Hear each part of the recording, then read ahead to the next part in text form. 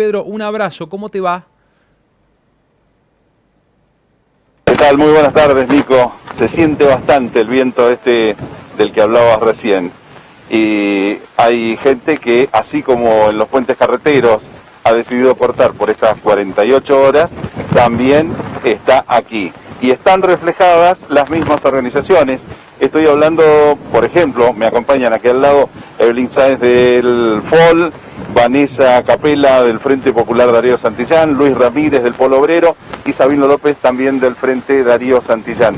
Ellos están instalados en este sector que está a unos 150 metros más o menos del destacamento que hay que pasar sí o sí en el momento que uno viene desde Neuquén hacia Chipoleti. Mientras tanto, y para que la gente no llegue hasta este lugar, se va a encontrar, en el caso en que eh, pretenda desviar desde Ruta 7, al momento en que intente ingresar al, eh, al rulo del eh, tercer puente, va a haber policías con los conos que están bloqueando prácticamente todo como para que no ingrese hacia acá y se encuentre con la situación. Acá están pasando solamente aquellos que están relacionados al tema salud o emergencia y bueno, como decías recién, tienen previsto, según dijeron, quedarse por 48 horas. Aprovechamos para hablar con ellos. Vanessa, es la primera vez que se corta este puente. Generalmente es la alternativa, suelen cortar los otros y este queda como para que la gente pueda utilizarlo. Sí, eh, hemos tomado esta medida de llegar a este extremo, de llegar al tercer puente, a raíz de que el gobierno no, no ha dado respuesta a las organizaciones sociales con el planteo del aumento de hacia las raciones de los comedores merenderos, el tema de trabajo, el tema de las tierras. Eh, se ha implementado muchísimo la demanda en los comedores eh, y no hay respuesta. Eh, en el tema de, de las uvas, de, de los subsidios que nosotros tenemos, seguimos bajo la canasta básica hoy con 7 mil pesos, no haces nada, no llegas ni siquiera al mes y el gobierno no da respuesta. Nosotros hoy por hoy eh, lo que le estamos pidiendo al gobierno es una respuesta concreta y efectiva para no molestar tampoco a la gente que quiere, que tiene todavía hoy una changa para hacer, porque la pandemia ha dejado muchas familias sin empleo y sin las changas que antes habían y hoy tienen que estar en los comedores, en los merenderos y no damos abasto ya. Bueno, eh, Luis, está difícil la situación para quedarse en este lugar tanto tiempo como tienen planeado. Sí, pero no queda otra. Eh, digamos, si fuese por nosotros, nosotros estaríamos en nuestra casa, eh, estaríamos con nuestra familia. Eh, nosotros estamos acá porque es, la última alternativa que nos deja el gobierno, digamos.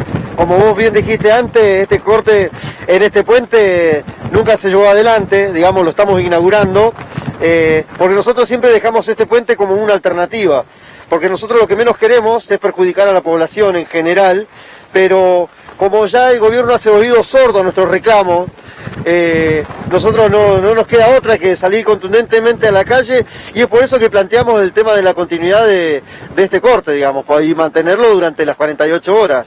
Eh, nosotros lo que estamos pidiendo es bastante simple. Nosotros tenemos eh, aproximadamente 5.000 familias que alimentamos con tanto sea con comedores como es con merenderos. El gobierno nos da raciones para 1.500. Todo el resto que falta lo ponemos entre la gente que colabora con nosotros con donaciones y las organizaciones mismas tenemos que bancar estas cosas, digamos. Las organizaciones están supliendo al gobierno, digamos, mientras el gobierno mira para otro lado, cierra comedores, cierra merenderos, las organizaciones sociales se ponen de pie y se hacen cargo de la situación que, atravesamos. Eh, nosotros lo que estamos pidiendo, aparte de que el aumento de las raciones alimenticias en las partidas de secos y de, y de verduras y cárnicos, también estamos pidiendo el tema de, que el aumento, de que aumenten a, los subsidios que ya tenemos y también que se aumente la cantidad de cupos, porque cada vez hay más necesidad, cada vez hay menos trabajo y el gobierno tiene que, estar a la altura de esta necesidad que está existiendo.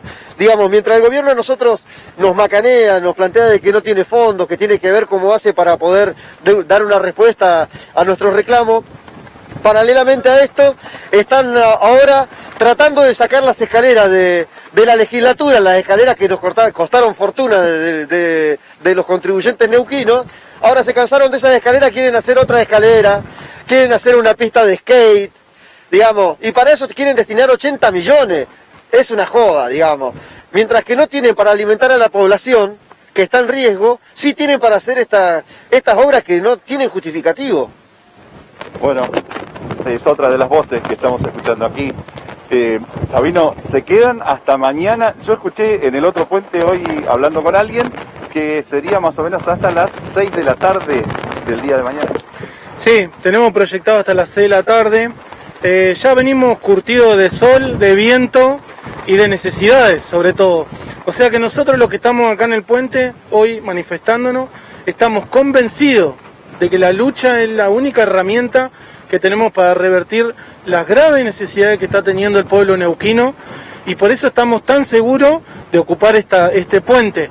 Lamentablemente no nos queda otro camino y sabemos que hay daños colaterales y esos daños colaterales seguramente son algunos trabajadores. Pero después no, no, no nos mueve un pelo más que esa, que esa situación, porque acá hay empresas petroleras que han sido beneficiadas con subsidios que se están otorgando, mientras que la población, como planteaba acá el compañero, crece y crece la desocupación y el hambre. Entonces, nosotros estamos convencidos de que este es el único camino y lamentablemente al, al que jodemos, que el pobre laburante, va a buscar su manera de cruzar el puente. Pero este gobierno es el responsable, el Estado es el responsable de velar por los derechos de tener un trabajo, aunque sea informal, como los que tiene la gente que changuea, pero poder tener acceso al trabajo, tener acceso a una alimentación como corresponde. Y esta pandemia lo que vino a hacer es a profundizar todas esas condiciones de desigualdad que habían. Eso lo queremos dejar bien en claro, porque acá se responsabiliza todo al problema de la enfermedad, pero acá esto venía ya posterior a la enfermedad. Entonces nosotros hoy por hoy nos queremos ir con una solución, sabemos que nos estamos jugando las últimas cartas en este, porque ya llevamos cinco semanas consecutivas reclamando en autovía, en las petroleras, en los supermercados, ya no sabemos cómo inventar métodos de lucha y sabemos que nos estamos jugando todo. Así que lamentamos a las personas que, que por ahí podemos estar afectando, pero no nos empujaron a esta situación. Bueno, muchas gracias. Otro de los eh, mensajes de eh, referentes de organizaciones. No me quiero olvidar de decir que a esta misma hora también hay gente que está acampando por ahora sobre la Plaza Roca, frente a la Casa de Gobierno. Esa es la gente de Barrios de Pie que esta mañana muy temprano eh, estaba organizando una olla popular para este mediodía. Así también pudimos hablar con algunos de los referentes y nos hablaban de alrededor de 9.000 viandas que se entregan por mes y sin embargo, según dicen ellos, 1.200 solamente son las que cubre el gobierno eh, con los aportes. Por eso es que también eh, ven incrementados los pedidos de alimentación de la gente. Así está la situación y por lo menos planteada como para quedarse hasta mañana a las 18 en este lugar y en los puentes carreteros, además, frente a Casa de Gobierno. Bien, Pedro, impecable. un abrazo grande.